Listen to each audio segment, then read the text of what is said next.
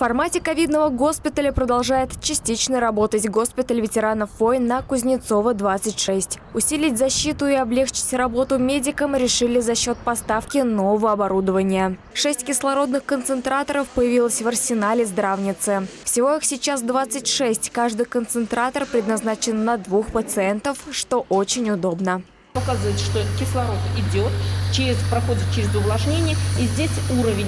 Сам концентратор на 10 литров в минуту. То есть здесь можно будет регулировать литраж. Аппарат очищает кислород от примесей, концентрирует его и подает для дыхания. Когда у пациентов наблюдается недостаток кислорода, их сразу подключают к кислородным концентраторам. Дополнительное техническое оборудование поступило за счет федерального финансирования. Второе, что мы получили, это центробежный аэрозольный э, аппарат, который предназначен для э, обработки, для аэрозольной дезинфекции помещений всех. Очень хорошо для дезинфекции э, заключительной. Большое подспорье для вот именно когда ковидная инфекция.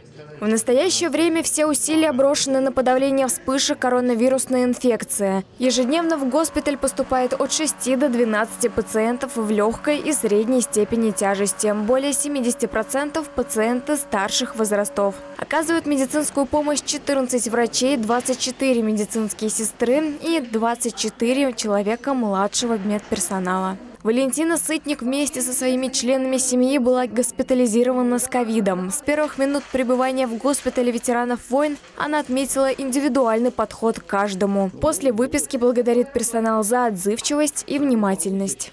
Более 10, 10 дней я здесь находилась, но с лекарственными проблем никаких не было. Вы знаете, э, да, наверное, и не было бы по-другому. Все системы были поставлены, мы даже просили, и нам, по нашим просьбам, учитывая наше э, состояние индивидуально, лично каждого, ставили систему. Э, без проблем, то есть вот не было никаких перебоев абсолютно.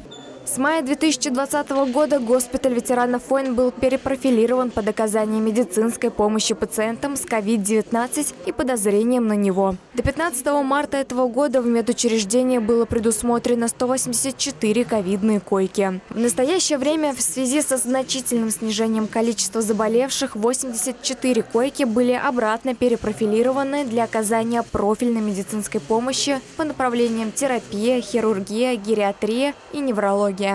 Алина Тихонова, Юрий Ломатов, Улправда ТВ.